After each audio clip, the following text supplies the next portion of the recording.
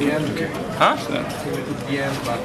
Uh, alerts here on the side in red. Oh. So as the day progresses, more Like that? Oh, the stage kind of go, touch. but it allows me at a quick glance to find out Yeah, what my meeting is and where I need to go. But when it's open, I use the touch screen as a touchpad. You can see over here on the, the side. Is it uh, exam? Uh, yeah, it's an engineering exam. Do you know what band?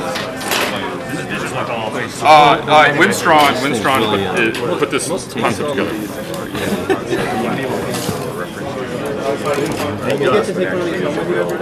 Uh, my, my kids play with it, yes.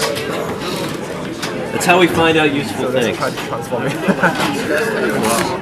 just a backlight like this?